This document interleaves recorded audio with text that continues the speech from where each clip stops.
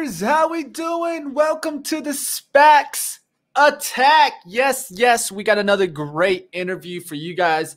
Up next, we will be talking about Wallbox. I mean, hey guys, if you guys got EVs, thinking about EVs, looking at the Charger game, definitely stick around. This is going to be a very interesting interview. I know Chris is super excited. I'm excited. Let's go ahead and let's get into our show a little bit. We got a lot of headlines, some deals that are going to be coming up. And at the end, we'll be taking a look at the watch list and seeing what's moving. I did see some stocks moving out there. So definitely take a look. We'll go ahead and get into some of these. Let's go ahead and get into the SPACs attack.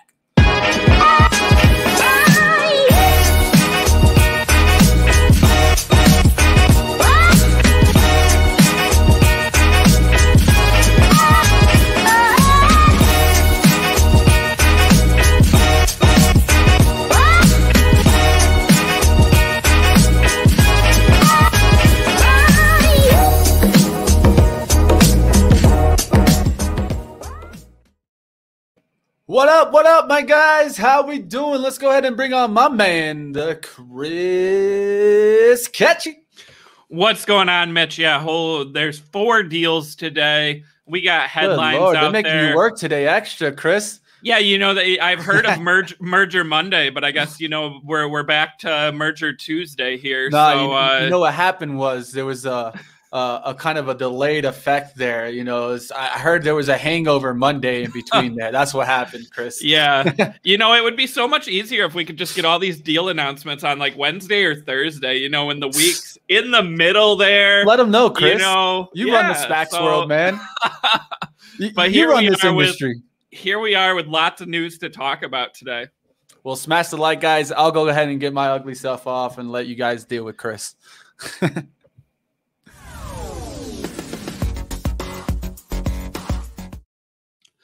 All right, guys. Yeah. So turning to headlines today. Up first, we have ticker FIII. This is the company merging with Electric Last Mile.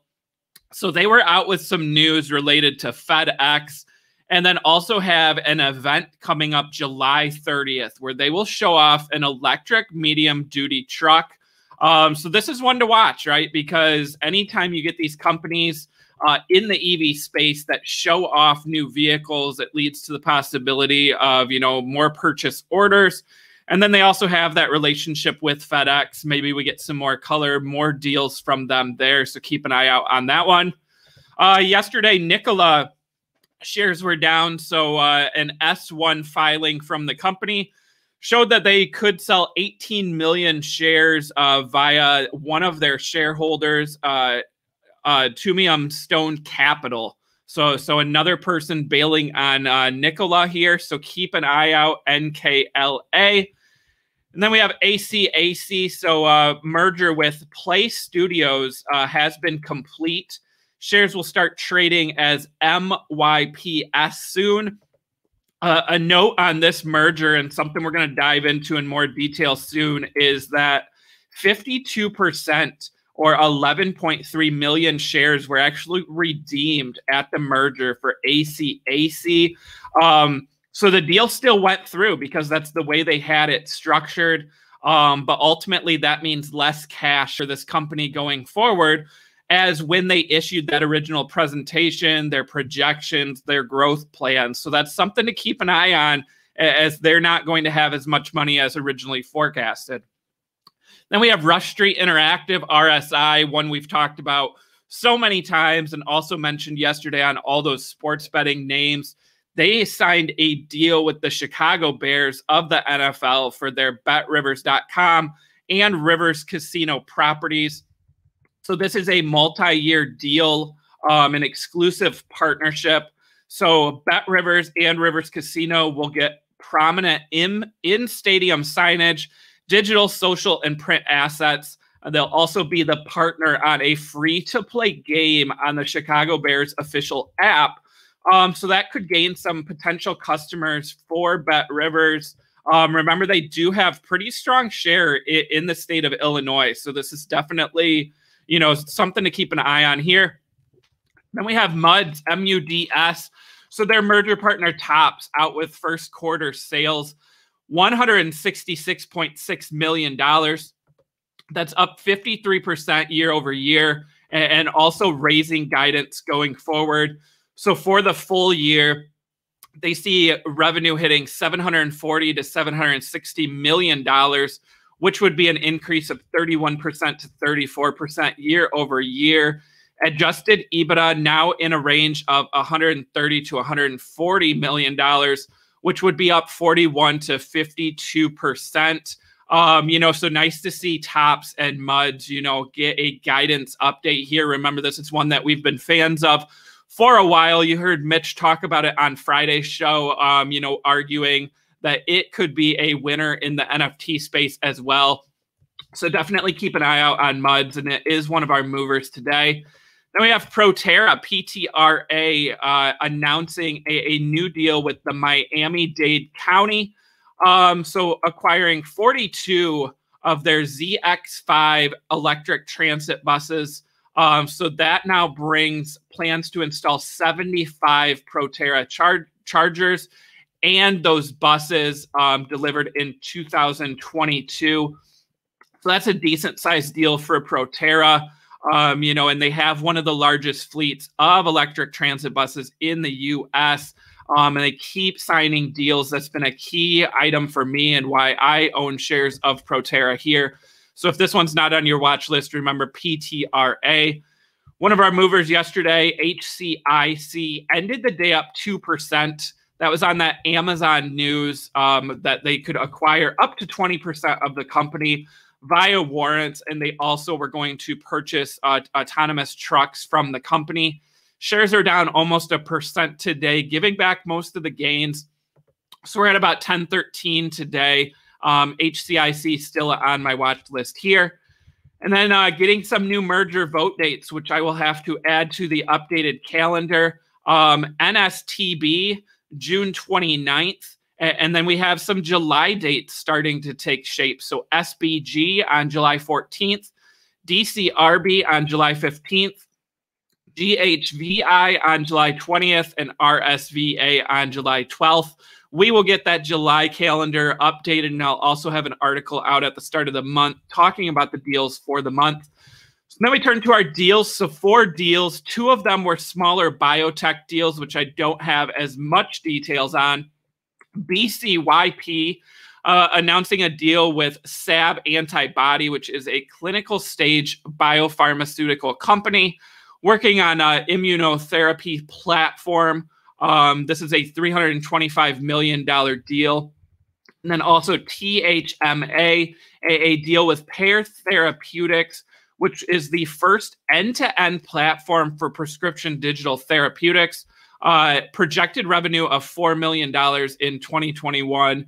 22 million in 2022 and this was done at a 1.2 billion dollar valuation. And then uh getting to uh two of the bigger deals today. So we have ccac this was for a lidar company so quanergy uh, merging with ccac valued at 1.4 billion dollars expected to trade or close in the second half of 2021 under the new ticker QNGY. Current shareholders will own 20.4% of the company. So we've seen lots of LiDAR companies go public. This one's a little bit different. They have CMOS, silicon solid state, OPA technology, which they call a game changer. Over 350 customers, 40 partnerships worldwide. They have shipped over 5,500 sensors and currently have over 80 active pilot programs. Led by Dr. Kevin Kennedy, with 40 years' experience in the industry, he's been the CEO of several other companies and also formerly worked at Cisco Systems as a senior vice president. Current investors in Quanergy include Aptiv, Daimler, Enterprise Rent-A-Car, and Samsung. So Quanergy thinks it can be a market leader in the LiDAR sector. Um, that 100% CMOS, OPA, solid state technology uh, can help bring down the cost of, of LiDARs. It also has high, higher reliability than other LiDAR sensors, can provide act, adaptive zoom, and has active scanning. So they see the automotive LiDAR sector hitting $10.6 billion by 2030. And then also the Internet of Things LiDAR market hitting $16.7 billion by the year 2030. So other operators, you know, use MEMS LiDAR. Quanergy, the only one currently using that OPA technology. So they are going to initially target sectors like mapping, security, and smart cities under that Internet of Things umbrella. And then after that, they'll get into industrial automation and automotive sectors. So revenue of 7 million expected this fiscal year, 27 million in 2022 and hitting 549 million in fiscal 2025. One of the interesting things from their presentation was that by 2025, 18% of their revenue will be automotive. You compare that to some of the other LiDAR companies like Velodyne and uh, Luminar, where they have 70 to 90% of their revenue coming from automotive. So Quanergy looks to be more diversified in the LiDAR space. So definitely something to watch. And then our other big deal today, we have DDMX uh, merging with Codere. So this will be the first publicly traded Latin American online gaming and sports betting operator, valued at $350 million. Current DDMX public shareholders will own 25% of the company.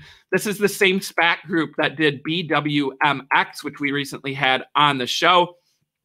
So Codere launched in 2014 uh, a mission to be the leader in online gaming and sports betting in Latin America.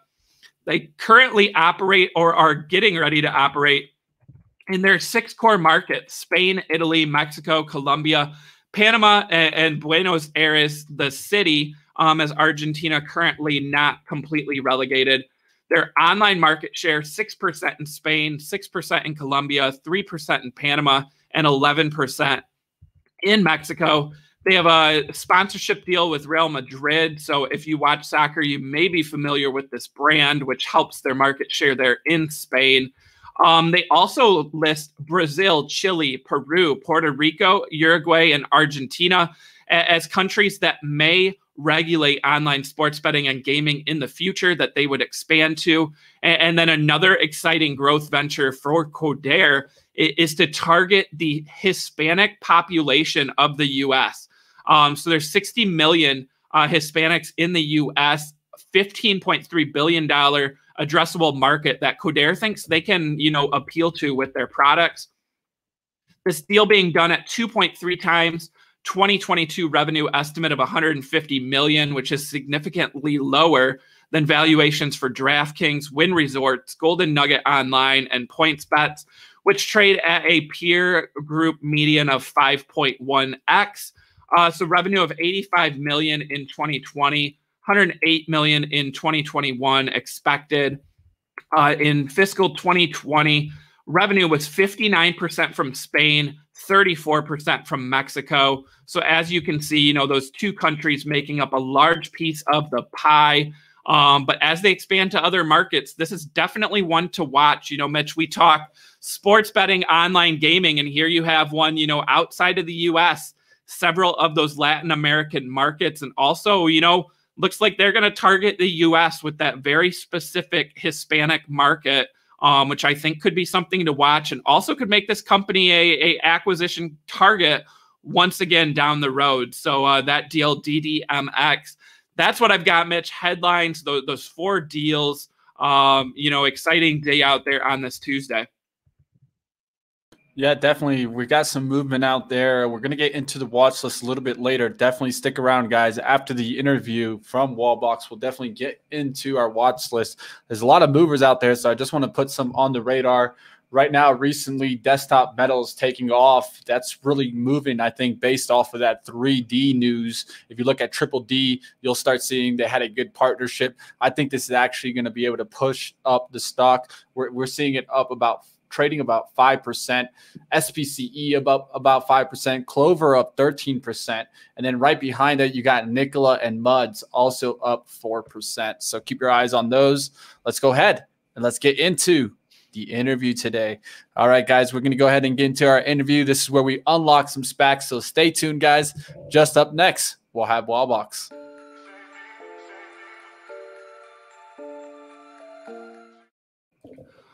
All right, guys, another exclusive here on SPACs Attack. So joining us today, we have Enric Asuncion, the CEO of Wallbox, and Justin Mirro, the chairman and CEO of Kensington Capital 2. That ticker is KCAC. Companies recently announced a SPAC merger that will bring Wallbox public. Again, ticker KCAC. Thank you, gentlemen, for joining us on SPACs Attack today. Thank you. Thank you for inviting us. Great. Thanks, guys. Definitely, definitely. I'm gonna let Chris go ahead and lead with some questions, and I'll be back with some of my own. All right, so let's jump in here. So, uh, you know, try to get questions for both of you guys here. Feel free to jump in though, you know, for for anything uh, that appeals to you as well. So, so up first, you know, let's start with Enric here. So, you know, Wallbox, why the decision to to go public via SPAC, and you know, was a traditional IPO also uh, being considered for the company here? Yeah, so we, we are one of the fastest growing companies in the space. Uh, we also were one, were one of the truly global players in the space.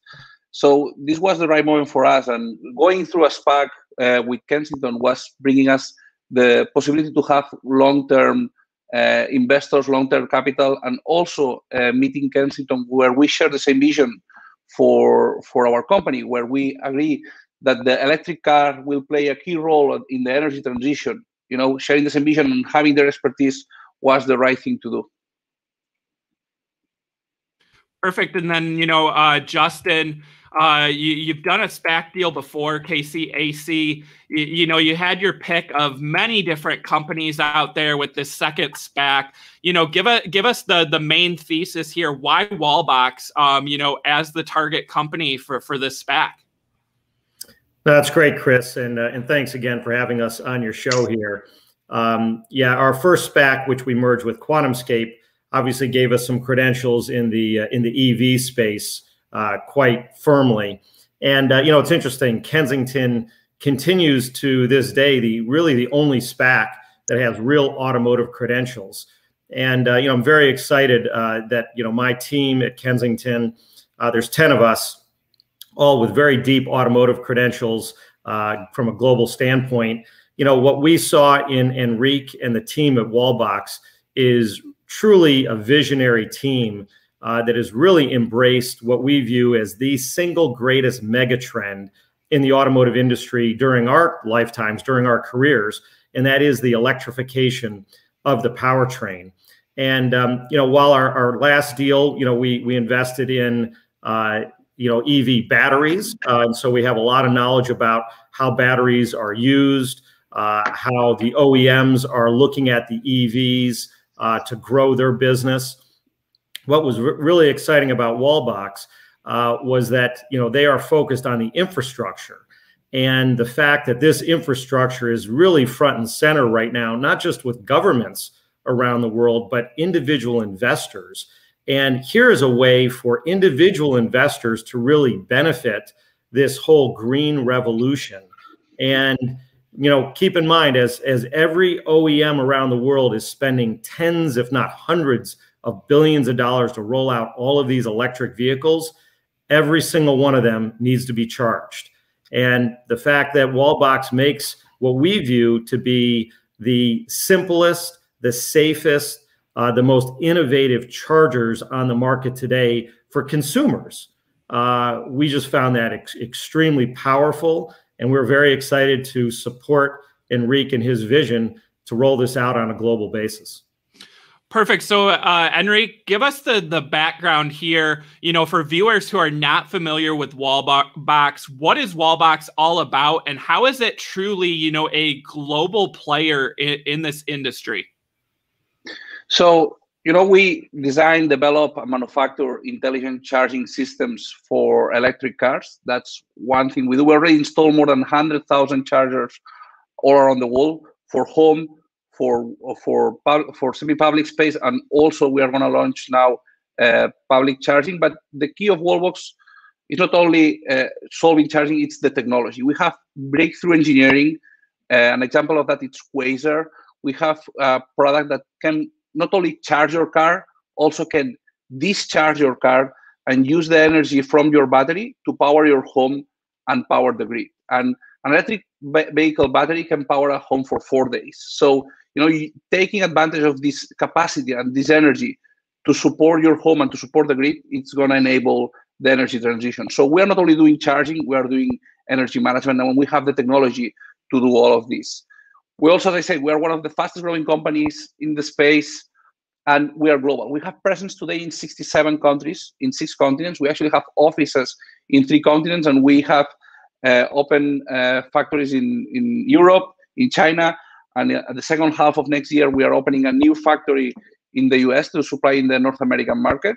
And we are, as I said, vertically integrated uh, company. We control everything. We design, develop, and manufacture uh, the products. We control the supply chain, and this gives us a huge advantage because going to new countries is not only having an office to sell the product; it's have the product certified uh, for the, for this market uh, you need all special requirements for selling on all these markets. We have all of them, and the fact that we control everything in house allow us to be faster, uh, to fulfill market requirements faster than anybody, and you know keep growing faster than anybody. And fi finally, is the team. We have a great team, and with the expertise and experience of the Kensington team, we believe that we are going to even accelerate this even more.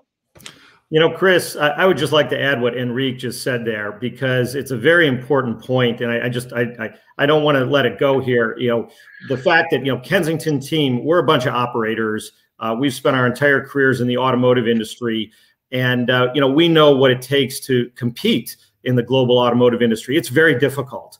Uh, you know, the automotive quality, the volume demands, uh, the certification requirements, not just of the countries, as Enrique mentioned, but the but the OEMs, the dealerships. This is a very difficult industry. Frankly, it's all we know. I, I heard on your earlier podcast, uh, you know, you're talking about all the other SPACs doing healthcare and cannabis and real estate. We don't do any of that. we only we only know automotive, and we only know you know very strong manufacturing. And the fact that Wallbox has demonstrated that with their their facilities, with their supply chain the fact that the company has 45% gross margins. I mean, that's unheard of. There's no one in the industry that actually has that type of profitability. On and the company has sold hundreds of thousands of these chargers, and in that to us really demonstrates a proficiency in in what we say getting metal out the door. So we're very excited to support that strategy and really help you know the company you know, take what they've done, which is um, an amazing accomplishments around the world, and really help them accelerate that strategy in the North American market where we have very strong relationships.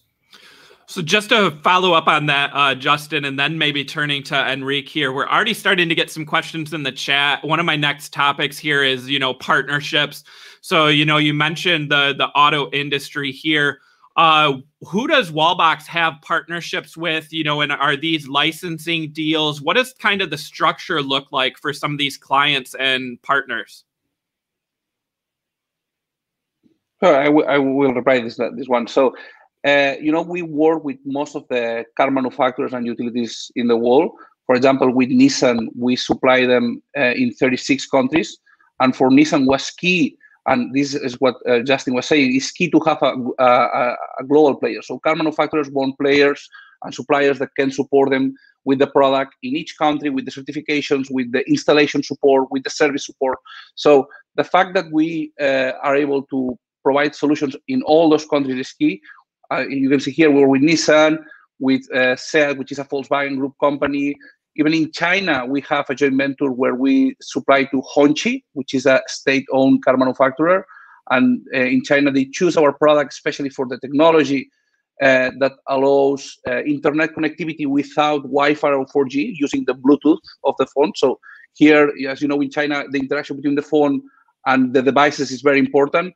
So we, we have all these solutions in all our products, but also energy companies. Uh, we have Iberdrola. Iberdrola is one of the biggest utility uh, in the world. Uh, they are also one of our investors and board members. And recently, with Iberdrola, uh, they have placed us an order of more than 1,000 fast chargers, uh, which you know it's a total order at the end with all the utilities of more than 8,000 fast chargers, which amount to more than 130 million dollars to deliver in the next couple of years. But uh, with Iberdrola, we work in all the countries where they operate in Europe. Same for Copec, in South America. They are a strong energy company that is building a corridor for, for all, in all South America for public chargers. So we work with car manufacturers, with utility, but also we work with uh, what we call our distributors. And these are companies like the Rexels, Yes Electricals, Ingram Micro. These are global companies that can make sure we deliver our products to uh, installers, retails, which you know amount to 40% of our sales. So 40% goes to this channel, 40% to car manufacturers and utilities, and it, the last one will be our direct sales to e-commerce with the e-commerce and direct sales to big enterprises. Perfect. So, you know, uh, Justin, we've seen lots of, uh, you know, charging infrastructure companies go public, um, you know, via SPAC. How important are some of Wallbox's growth objectives here? You know, we have that bidirectional DC charger for the home. We, we've got the My Wallbox for residential and business software. You know, when you look at the growth plan for for Wallbox, you know, what are the the key items here? You know, in, in your opinion, Justin, that really set Wallbox, you know, uh, apart from some of the competition out there? Sure, Chris. Well, you know, I'll go back to my earlier comment. I, from our standpoint, uh, growth doesn't mean anything unless you have solid uh, foundation to work off of. And having once again 45% gross margins uh, today um, to to work off of is very important. You heard Enrique mention uh, that the company has multiple uh, lines of pipeline of background here for uh, whether it's the public chargers through Iberdrola or the fact that the company currently sells product in over 67 countries. Uh, that's not an easy feat. Um, and especially in Europe, which has much more stringent uh, requirements for electrical uh, certifications. I mean, let's think about this. These are, you know, very small devices, but they're running 40 amps, 220 volts, powering your $50,000 car. Um, this is very critical equipment, uh, and it has to be certified. And you saw that list just a moment ago with companies like Mercedes and Nissan and Mitsubishi uh, that have actually certified the product uh, at the OEM level so that it works. And it also works from a DC bidirectional uh, standpoint, which you just highlighted. Wallbox is the only company that we're aware of that actually has a DC bidirectional charging product. You see on this screen right here, it's listed as the Quasar product. And that can actually be mounted at your home. It could be mounted at your business. No one else offers a product like that. And it goes beyond uh, just saying that you're going to do it. The company has sold thousands of these units. It's been certified in places like Germany, the UK, very stringent requirements. So we feel that it, it's a multi pronged approach. The company has world leading margins. So you need that because you got to be profitable. Okay. At the end of the day, doesn't matter what your top line is. If you don't have the profits, you're not going to last very long. The company has the profitability. The company has the products. The company has the pipeline, and they're selling into all these markets. And then, as you heard, they have the infrastructure to build these products. You've heard other companies uh, talk about supply chain interruption. You know, this this is a very important point. We spent time at the company's manufacturing facilities. Look, you can see the team at Kensington. We're, we're a bunch of hardcore manufacturing people. I have the former head of purchasing from Chrysler on my team, you know, someone that's gone around the world looking at how you buy components. And we looked at everything. We said, this is a company that can fulfill their forecast. That is critically important, not only for us, but for our shareholders.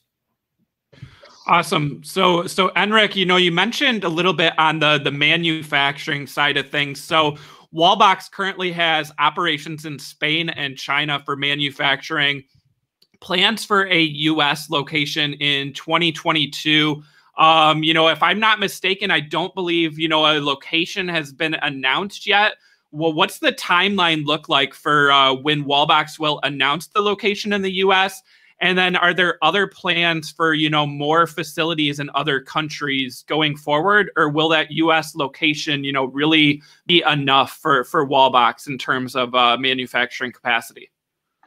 So we are right now we, we have been working a couple of months uh, finding the location. We expect in the next weeks to be able to announce it. Uh, right now we cannot but pretty soon once we close everything we'll be able to, to share with you regarding new factories, uh, you know, these facilities we are making sure are big enough to add more uh, manufacturing lines. So maybe we start in the US with uh, three assembly lines, one for Supernova, one for Quasar in the US, and another one for Pulsar, which is the product we are selling for home charging. But then we can duplicate or, or with more manufacturing lines, so we, we can grow. We expect by 2025, 2024, around this time, to add a new facility. Uh, which we still have to decide the location. But, uh, by then, we will need to in, in, increase our capacity in terms of new facilities. Perfect. And then, uh, Enrique, another question here. We have this slide in the presentation, um, slide 17. Uh, be the provider of all-in-one renewable energy solutions with the charger at the center. You know, it lists some items like energy storage, energy as a payment, utility consulting, um, peer-to-peer energy transactions. Can you just walk us through a little bit on on the timeline? You know, are these items all you know a couple years out, five to ten years out? Um, what's kind of the roadmap for for really mm-hmm. completing this uh, item for Wallbox? Yeah, some of the things we're already doing, but I, I just want to share with you what what's the power behind this slide because we are going to be the center of the energy at home, and every charger we are selling today with our software is enabling this vision. Because first of all you use the charger to charge your car which amounts to 50% of your home energy consumption. When you buy an electric car you double home consumption. But also you will use the, the charger as your storage because with bidirectional charging with quasar you can use your electric vehicle car battery which is a massive battery. It's like 10 times bigger than any powerwall. You can uh, use it as a storage for your home so, and finally, uh, the, the next version of Quasar will be used as a solar inverter. You know these devices where you connect your solar panels to power, uh, you know, solar panel to, to, to the grid and you have a, a solar inverter. The charger itself, Quasar, can be an inverter. So you will directly connect the solar panels to the Quasar. So the charger becomes your production, your storage, and your energy management system. So it becomes the center of your energy at home. Every charger we're selling today is enabling this vision in the future.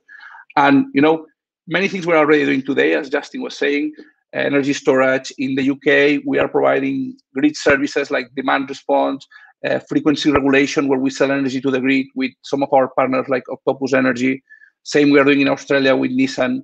Uh, so many of the things are happening here. I think the, the, the, the thing we should not considering our business plan in terms of, of numbers is the peer-to-peer energy transaction because that will depend on regulations. Uh, but but the rest of the things is things that we are already in some countries already delivering. And what's really really important is that the the charger is going to be the center of the energy at home, and we are making this possible already today. Yeah, I want to. I just want to reiterate, Go ahead. Go ahead. Chris uh, you know, because it's a very important point, and I'm glad you brought up this slide. As Enrique said, pretty much everything on this page is happening today. This is not five or 10 years out. I mean, the, the Quasar DC bidirectional charger, along with the, the My Wallbox software, enables all of this dynamic, you know, uh, energy management. And that's, I think that's the, the very important point that we saw in this company, because your earlier point, there's lots of EV charging companies out there while we think this company has by far the best products, by far the best go to market strategy, the only company with the full vertical manufacturing strategy, it's that energy management component that makes it so unique. And um, while it's not fully rolled out here in the United States, we're, we're hoping soon. And Enrique has promised me the very first one of the uh, the quasars here because I got to tell you, Chris, uh, between Enrique and I, we actually have five daughters between the, the two of us. And you know, it's pretty exciting to be thinking about we're going to be doing stuff that's on this page that's going to make the world better and greener for the next generation. Because let's face it, that's why we're doing this. And um, you know, my daughters every day tell me, "Hey, Dad, let's get rid of those gas cars. Let's get electric cars. Hey, let's get some solar panels. Let's have this all run together." And this slide does it, and that's what's so exciting. Yeah, you know, I'll, I'll, follow up on that, Justin. I, I've got three sons, and you know, none of them can drive yet, but two of them that are in school, you know, they're already talking about electric vehicles. They're already talking about you know recycling and different things. You know, so I think this next generation definitely excited you know, for initiatives, um, you know, to make the earth a little bit greener. So, you know, I'm excited for technology, you know, like this one more question for you guys, and then I'm going to turn it back over to Mitch with some questions, and then I know our chat is going uh, crazy with more questions out here too. Um, and this may be with both of, for both of you, but uh, you know, completing this SPAC merger, you know, there's going to be uh, more money for Wallbox, you know, more access to capital. Is there any plans, you know, for M and A activity, um, you know, within the industry or maybe some uh, vertical integration here? Well, I'll, I'll let me answer the question first, and I'll turn it over to Enrique. But you know, we raised the capital for this company, and it's in the slide deck that everyone has seen uh, to really fulfill uh, these uh, growth initiatives that we just highlighted here. And so we have a fully funded business plan. That's to build out not only manufacturing here in North America, but also in Europe and really on a global basis. Uh, the next slide you'll see, um, you know, and you can see to build these facilities, uh, they're, they're pretty uh, asset light. you can see our CapEx at the bottom of the page. And once again, uh, we know how to build facilities. Our team here at Kensington, that's all we've done for the last 30 years is building high tech automotive grade facilities around the world. So, uh, you know, we're going to help uh, the management team of Wallbox here really build this out. But we feel very confident that, you know, the capital here is to build out these facilities. Also, very importantly, uh, Chris, you know, your, your listeners might like to hear this. We've also allocated enough capital here to build out the proper inventory and accounts receivable needed to grow this business. A lot of companies haven't thought about that. And we, you know, look, we're built, we, we know how to build stuff and we know it takes money to build inventory. And so that's fully factored into our business plan. So we've thought about everything here and uh, we're very excited for really the top line that you see on this page, which does not include any M&A. Uh, you know, anything that would be M&A or or you know additive to the plan would just be in addition to what you see here. Yeah exactly. So it will be a, it's, it's not considered here will be an addition. Uh, you know maybe some we're looking into some companies in terms of acqui-hires i call them you know the companies that have technology and talent that can accelerate our plans for hiring. There's some some some some of the possibilities. But right now uh, we you know we are the fastest growing. Have the right technology. We are in front of the competition, so we don't really see a need for for, for this in the short term. All right, I'm going to go ahead and jump in here. Now, one of the things that I wanted to point out, and uh, I'll go to Enrique with this, is how did this happen? I, I want to point out this number one bestseller on Amazon. How has that happened, and, and what are you seeing in this? Are you guys seeing more of a third party, or can we just come directly to you guys to if we wanted the Quasar? How does it work? So this is for the Pulsar Plus. Mm-hmm. Uh, our product we launched just four months ago in the US. So uh, in in a matter of two months, we became num- number one bestsellers. I think today we are between one and five, depends on the day. You know, it's changing constantly the the, the, the top five. Uh, but I, I, was seeing that for the Prime Day, we were at the top of the wish list. So, uh, you, you know, this is one part of a small part of our sales channel. As I say, direct sales is around 20% of our of our sales. You know, we have our distributors, our uh, car manufacturers that sell our products, resellers. So, uh, in the US, especially, uh, you can go to an installer and they will start recommending uh, Wallbox products. But if you directly want to buy one of our products, just go uh, online to wallbox.com or Amazon.com that you and you can buy buy it. But most of uh, of our products uh, can, can, be uh, we sell in many channels and it happens thanks to the technology to the design and the fact that we make it very simple you know it's just for the user it's just plug and charge and we take care of the rest our products charge when energy is cheaper, so you save money, and this is especially critical in many countries in, in Europe, but it's starting to happen also in the US. So, you know, the price of the energy changes by the hour. So charging when energy is cheaper in a transparent way for the user is critical. We adapt to the power of your installation. So when there's limitations of power and uh, you you have what's called power boost, but if you start the air conditioning, the heating, and you start having limitations on your power of your installation, our chargers automatically connect with your smart meter, and they make sure they always charge at the maximum power of the of your installation, so you always charge as fast as possible. And finally, you know, we have this smart energy management. So we combine with solar panels. If there's more than one charger in an installation, we do what's called power sharing. So the chargers store between them and decide which is the best strategy to charge all the cars as fast as possible. And a very simple thing like uh, locking the charger. You know, if you don't want that your neighbor goes and use your car, uh, if you go to Amazon, uh, in, in, in, most of the locks are actual, actual physical padlocks, and we have an app and you just can lock it remotely, or you know, it's very very simple. So making very simple, uh, thanks to our technology, our products, is what allow us to be in the top. Yeah, the other thing I'd like to point out uh, is that uh, Wallbox is the only company that has Bluetooth capabilities. Mm. And people think of Bluetooth and they think of, oh, your headphones or something. But the fact that you could actually plug this in, set it up, control it, do payments, everything over Bluetooth, which is pretty fascinating um, and makes it so easy. I mean, you know, there's plenty of places that you just don't have a good Wi Fi signal in your garage uh, you know, I installed one actually at the end of my driveway because that's where everyone parks. I mean, I'm way out of Wi-Fi range. It works off of Bluetooth. Uh, no one else offers that. But this goes back to the simplicity uh, that Enrique mentioned. You take it out of the box. It's packaged very, you know, efficiently. And uh, look, you can buy it on Amazon if you want. But truth be told, most people are going to be buying it when they purchase their new vehicle. And as we see Ford and GM and you know all the domestics here start offering much more proliferation of vehicles, um, you know we'll have the certification right from the OEM so that they know that their dealers can actually sell the product and not have to worry about voiding the warranty on your battery or anything like that. Mm-hmm. Very important. Once again, we're auto people. We know the right people within the the OEMs to to help facilitate that. Very important step. Excellent. So the next question I want to get into is more along. We were just talking about kind of the software here. Um, what I want to ask is, how does the software work? Is it kind of a, a monthly managed service? Is it something that you guys provide with the product? How does the the user friendly app work here? Yeah. So we have two main softwares. One is My Wallbox, which is for home and semi-public charging. Semi-public is hotels, condominiums, restaurants, enterprises and that's my Wallbox, and the other one is Electromaps, which is the public charging app. So let me talk first about my Wallbox, which is the one you're showing here.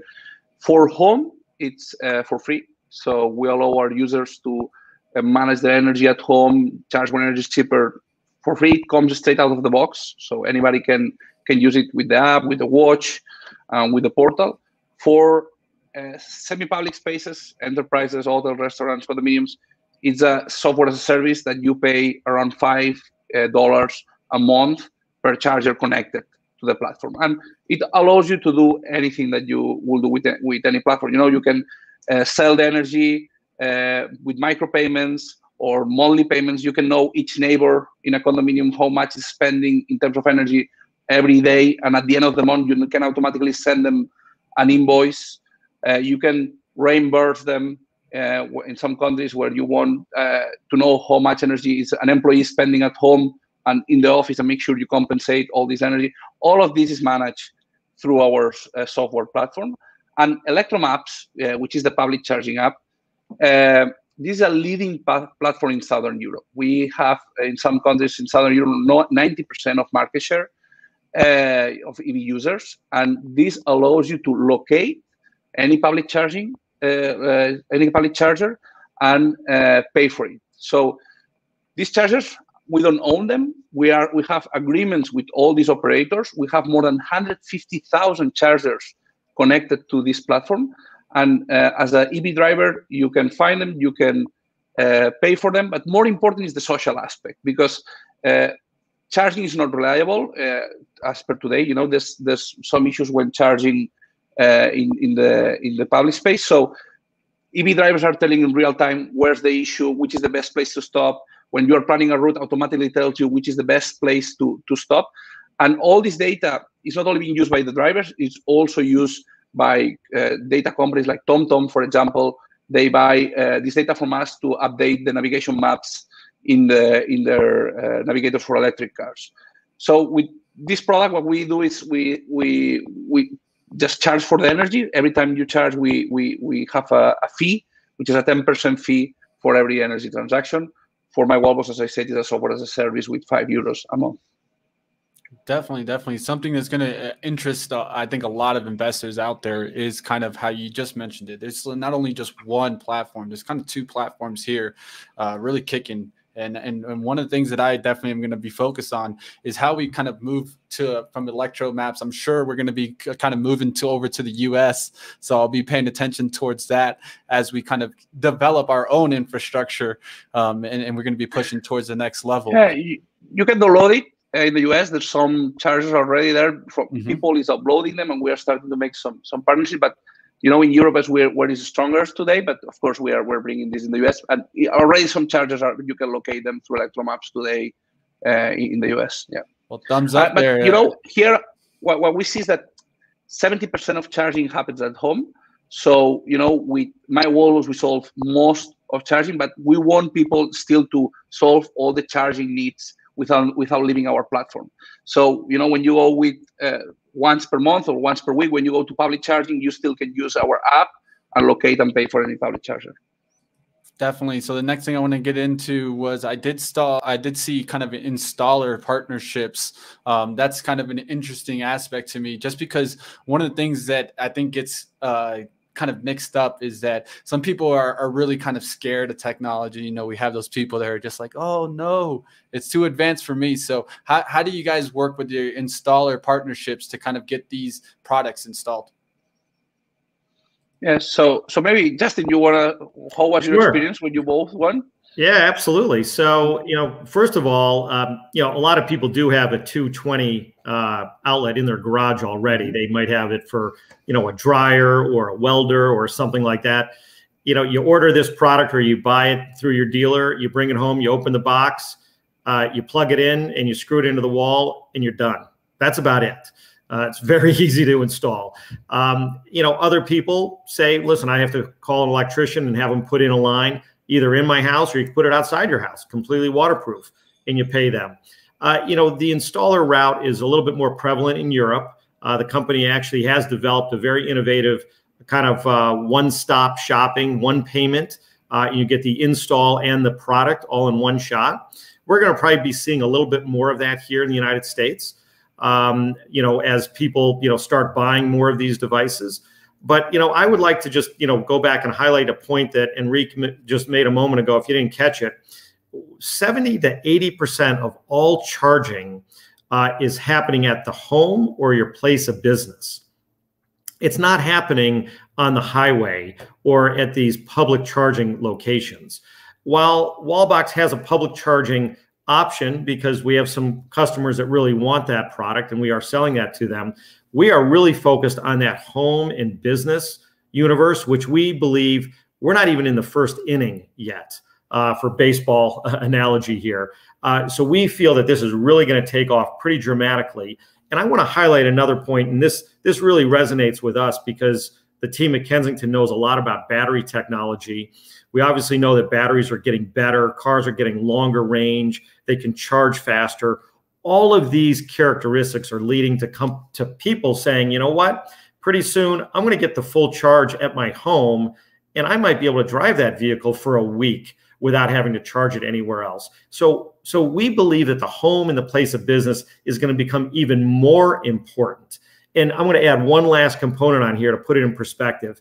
I don't know if you guys have electric cars right now, but you know, I have friends. I live in uh, a suburb of uh, New York City and I have friends here that will drive to Connecticut or New Jersey to fill up their car with gasoline just to save themselves 25 cents a gallon. Well, if I were to tell you that the cheapest gasoline you can get for your electric car is right in your own garage, in other words, you don't have to go anywhere. You don't have to go to a public charging location. You don't have to pay extra fees. You don't have to pay for the maintenance on those public chargers. Guess what? That electricity, the cheapest electricity, is right in your own garage we think when people start to realize that, they're going to say, you know what, I'm going to top off my car in my own garage before I ever go anywhere. That's why we are so excited about the Wallbox product. We think the focus on the home and business is the best, and no one else is really focused on it like that. Definitely, definitely. At the end of the day, what does the consumer want more than anything in digital is convenience. That's the magic word right there. And if you can make it anything more convenient. I mean, if you can save me time so I don't have to end up going to the gas station, I could just end up driving where I need to be heading to versus making stops and, and, and wasting time. I think that's definitely something that's going to affect the consumer. Last thing I want to get to, um, just so we can get to wrap up here, guys. We're almost towards 12 o'clock. I kept you guys for a long time. I'm enjoying it. I could keep going. I got many more questions, but let's just talk a little bit about benchmarking here. You've talked about it what stands out to me, we, we, we can we can just point it out again. 45.5% gross margins. For me, I always look for, and at least for my education, I've looked for a little bit above 35. And man, 45 really stands out to me. You can see the peers here, Tesla at 21, Blink at 24, ChargePoint at 24.4. How are you guys able to achieve this monstrous margin here, Enrique?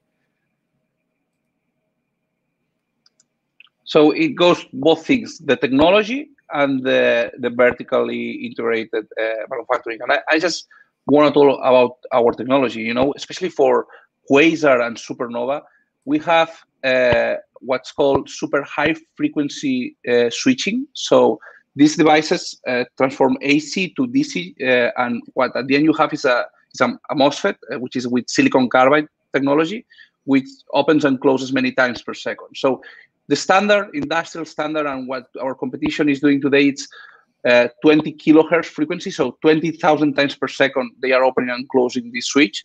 We do this between half a million and one million times per second. So we work at very high frequencies.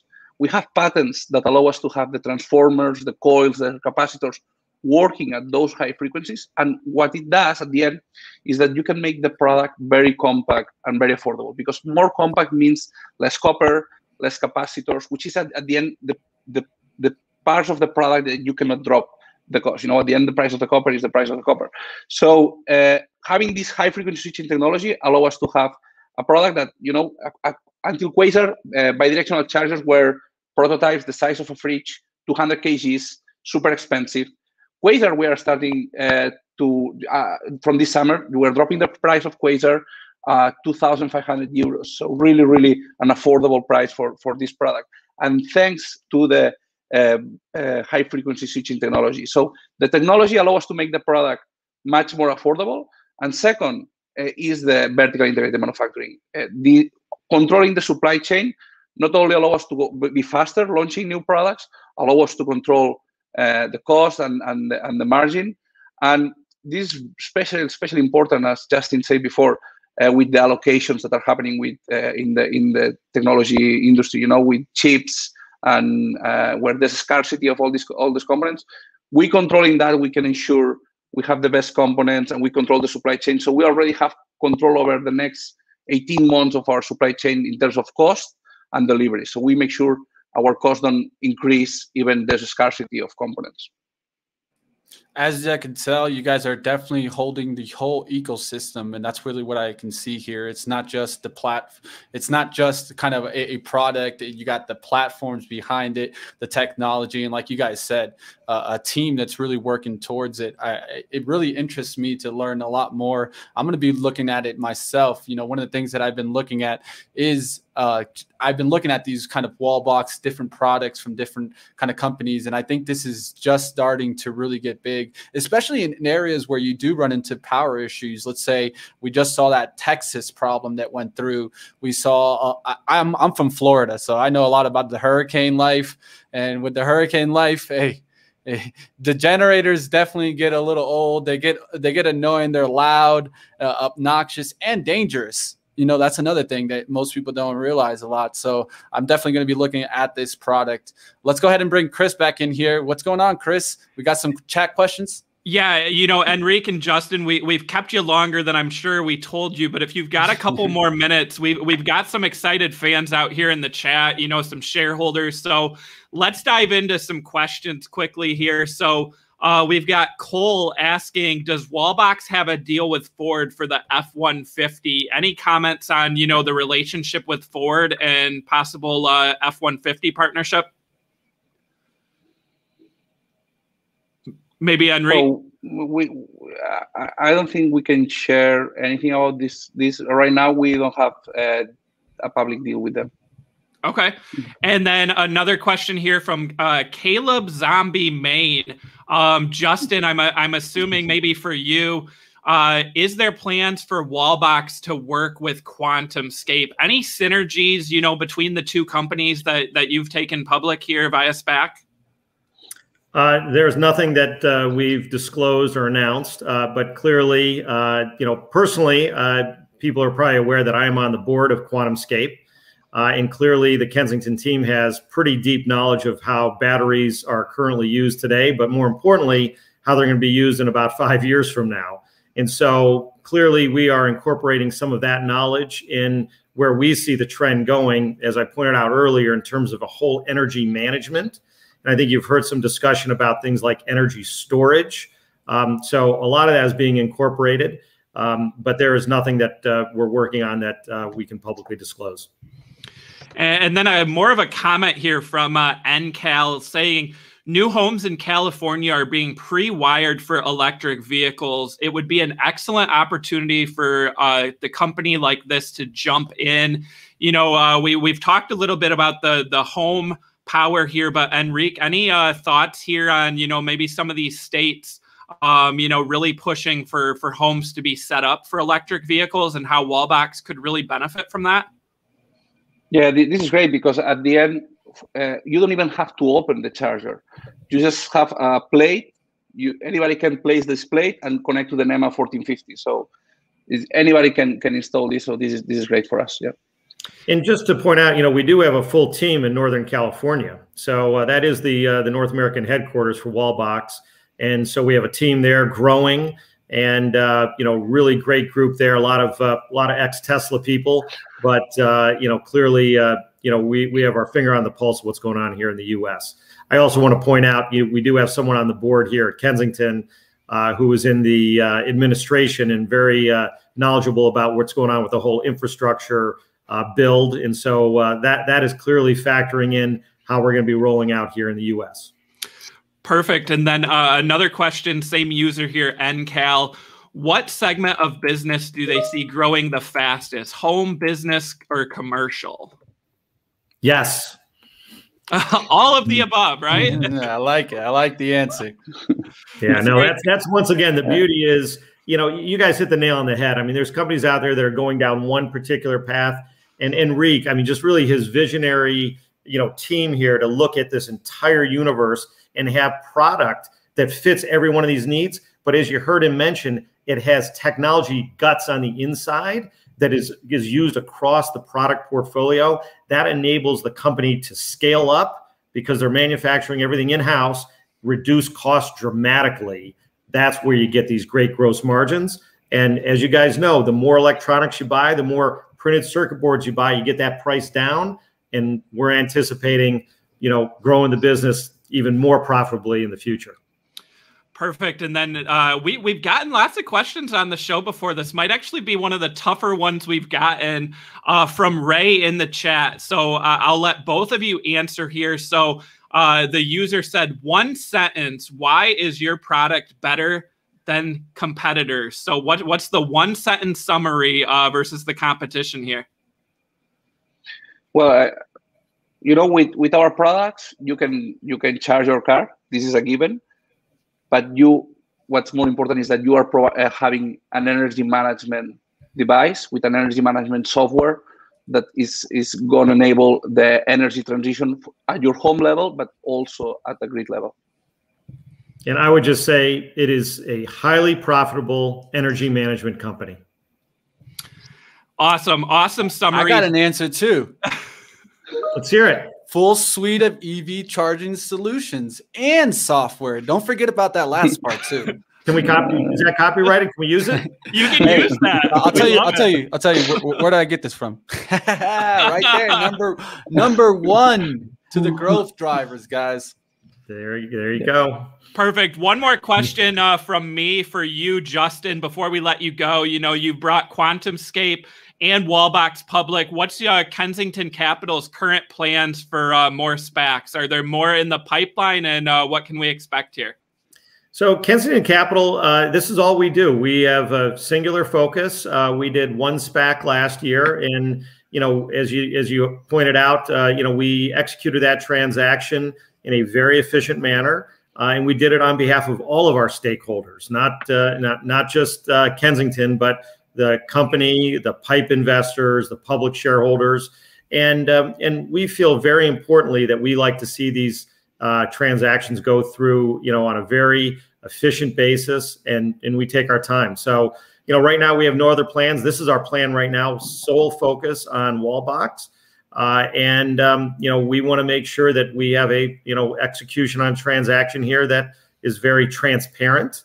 It's another thing that we like about these deals, and that we can deliver the capital needed for Enrique to to fulfill his business plan. That's the number one goal. So that's all we're doing right now. Awesome. Well, I want to thank you you both for joining us on the show and also staying late, right? We ran some overtime today with some extended questions. So, you know, again, joining us on SPACs Attack, we have Enrique Asuncion, the CEO of Wallbox, and Justin Mirro, the chairman and CEO of Kensington Capital. That ticker is KCA see. Uh, gentlemen, we look forward to you know following the progress of this deal and uh, hopefully hearing from you soon. You know, as this deal progresses and uh, we we get through the de-SPACing process here. So thank you both for you know taking time out of your busy schedule and joining us on the show today. Thanks a lot, Thank Chris you. and Mitch. Thank you guys. Thank, Thank you, you guys. Bye bye. All right, guys, there you go. Is have it another exclusive interview, and man, I, I gotta say, I, I, could keep going for like an hour with those guys. I had so many more questions that I wanted to ask. I, I could go into in depth into the technology. We could talk more about the numbers. But really, it's like I stated, I, I think it's really all about just a, a, full suite here, not just one part. And that's why we got, I, that's why I think we have so many questions too. That's a good thing. You know, when we have that many questions, guys, that's something that you can take a look at is that there was still more questions that Chris and I want to ask about this company. So that, that that's something interesting just to add. Yeah, you know, and it looks like the chat love this company. You know, we see your comments out there, people who own shares, people who are going to add shares, you know, after this interview. You know, again, we, we try to bring you the best guest we can on this show. If there's a company you want to hear from, let us know in the chat or hit Mitch or I up on Twitter that's going to do it for for today. You know, we we pushed past noon, uh, went a little late. Tomorrow we'll try to dive into the watch list more and some of those ideas. But but we also have an interview tomorrow as well. So stay tuned. Uh, you know, and we'll see you on SPACs Attack uh, tomorrow, 11 a.m. Eastern time. Power Hour coming up next. Don't go anywhere. Definitely, guys. We got Power Hour coming up next. Stick around. We'll definitely be focused and, and kind of staying with the SPACs. SPACs definitely on the move. Let me take a quick look at my watch list. Now looking like SPCE leading, uh, at least from right here. I'm seeing Clover take a little bit of a pullback. Nikola take a little bit of a pullback. Desktop uh, DM holding those 13s. That's what I want to see it close above today, above 13s. It ripped out from about 1250s. So definitely keep your eyes on that one. PSAC, what's up with this one, Chris? Why is it moving on up today? It looks like a strong chart. Is there anything with property solutions right now? I haven't seen anything in the news on that one. Um, that's interesting, though, being up 4% here. Um, we did have, looks like news yesterday, uh, mm-hmm. delaying the shareholder vote. Um, so I, am not sure if that's that's enough here to to move it. Um, so maybe there was some trouble with uh, getting enough votes here, but uh, it, it, looks like it was pushed back. So uh, interesting, uh, you know, movement there. But yeah, SPCE leading the way. Uh, Clove was up what double digits when we started the show, and, and now up about eight percent. Um, you know, so some big movers out there. Uh, Mud still up three percent. Um, I still think that that earnings report and that guidance from them was incredibly strong. Um, you know, that's one that I like here on any pullbacks. Um, uh, you know, this is one that traded well over that mark not too long ago. So interesting uh, earnings report from uh, Topps there, Mitch. Definitely, definitely, and keep on the lookout for those cards release. I'm, I'm, I'm, I'm myself, and I'm looking at it every single day. I have, t- I have uh, Topps Digital on Twitter. I know it's going to come out, and when it announces, I'm gonna try to be quick to the gun there. So definitely pay attention for that, guys. Uh, we we talked about Muds and kind of the commissions that they've been making, and I expected that bottom line to show up there. Um, I'm gonna be looking more into the earnings so I can point out exactly the commissions that they that they made. So I'm gonna be looking through it. I'll be talking a little bit more about this on the next SPACs attack. Hit us up in the comments, guys. What do you guys want more of? What company? Let me know. We'll make it happen for you. Coming up next, Power Hour.